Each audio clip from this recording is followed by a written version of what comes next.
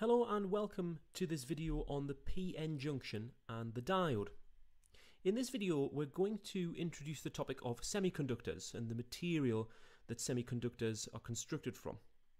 We're then going to apply this to the idea of the PN junction and also to simple semiconductor devices. In this video, we're going to touch on the topic of diodes or junction diodes, but in future videos, we'll also mention Zener diodes, bipolar junction transistors, and junction field effect transistors or FETs.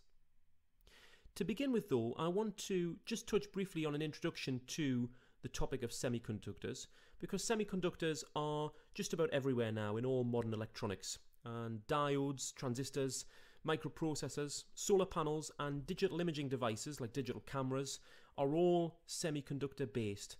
And the semiconductor in question is generally silicon.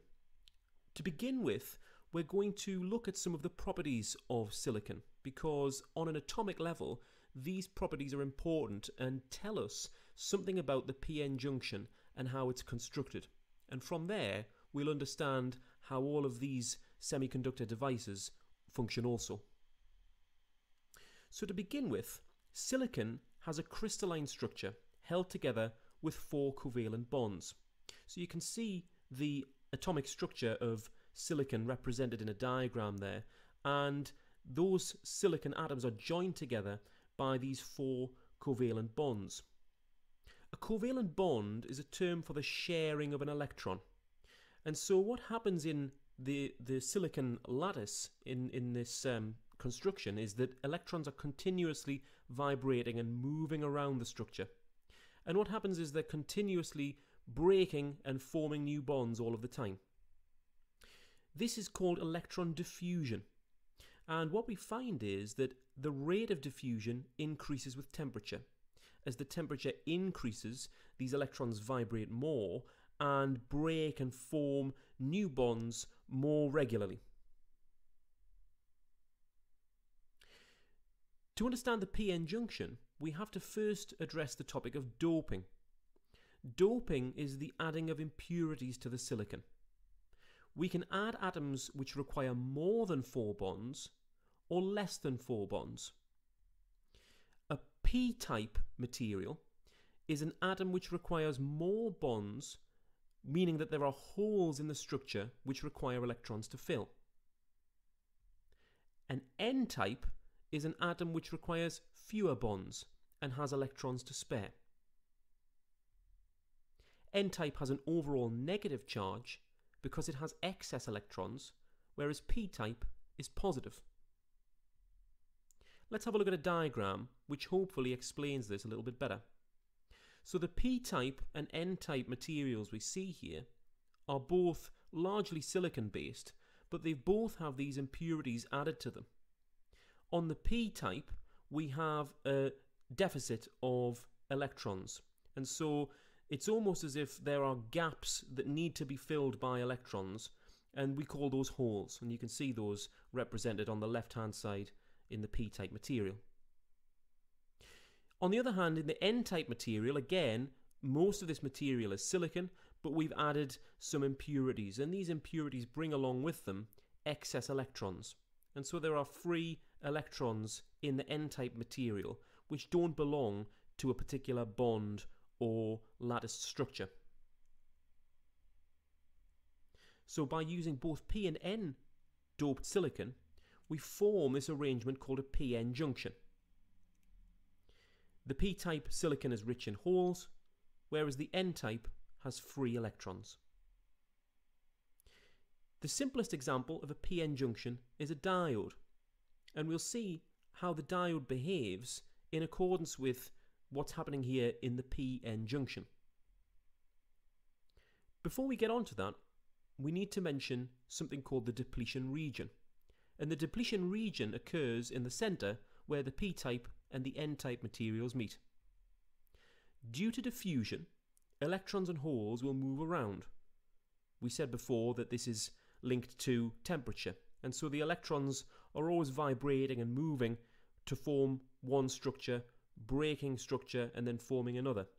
And so electrons and holes will move around and combine to form complete molecules. this forms a region where there are no free electrons anymore. Any electrons that were free have been taken up by the holes or the, the, the deficit of electron to form a complete lattice structure. And so we end up with this region with no free electrons. And this is what we call the depletion region.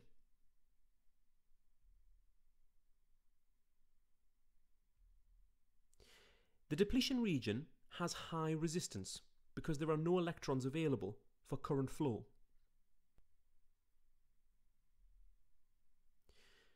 We've already mentioned the topic of diffusion. The diffusion being the vibrating or free movement of electrons. There's another force at play in the PN junction, and this is what we call drift. Drift is the effect of atoms looking to retain their electrons or prevent diffusion. And these two forces compete against one another. Diffusion is encouraging the uh, electrons to move around, to vibrate, to form new structures, whereas drift is encouraging the electrons to remain where they are, as it were. So these two forces compete against one another. And this means that the depletion region can only grow so big. We can apply an external voltage to the PN junction. The direction of this voltage determines whether we are working with diffusion and against the drift, or we are working against diffusion and with the drift. Let's look at some examples. Here is a PN junction that's forward biased.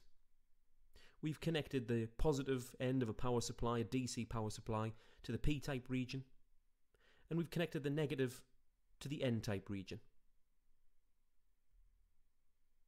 This means that we're working with drift and preventing diffusion.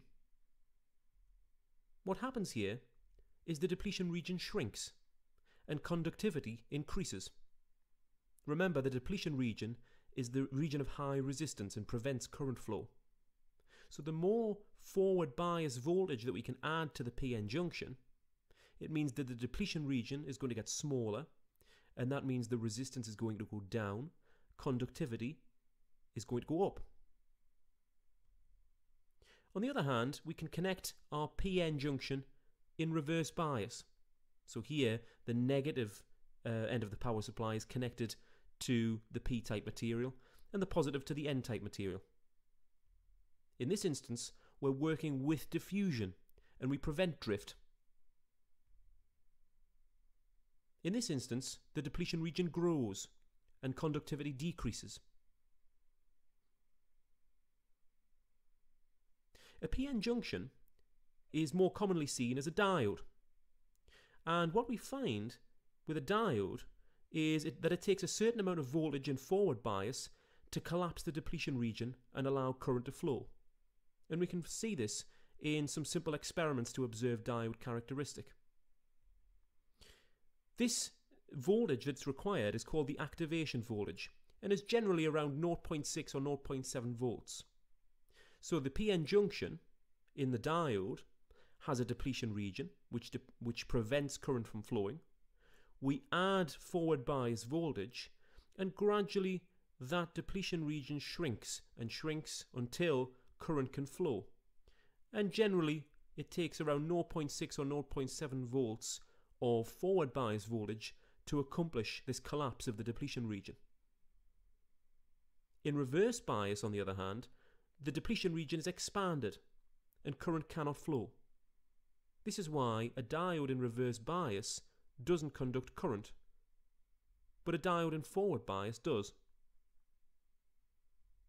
In forward bias, we can see the characteristic in this graph. You can see voltage on the x-axis, and there's no current to be observed for the first sort of 0.5 volts. But as soon as we hit 0.6, 0.7 volts, you can see that we must have collapsed the depletion region by this point. It's shrunk to the point that now current can flow, and so we see this non-linear increase in current. This is an example of a non-linear characteristic and is typical of most diodes. For resistive components, we would expect to see a straight line in this instance, where current and voltage are proportional. We'd end up with a diagonal line. But in semiconductors, this nonlinear response is more typical. So I hope you found this video useful. First of all, as an introduction to semiconductors and the p-n junction, but then how that links to the function and characteristic of a diode. In the next videos, we'll be looking at Zener diodes, bipolar junction transistors, and field effect transistors, with a similar focus on their semiconductor construction.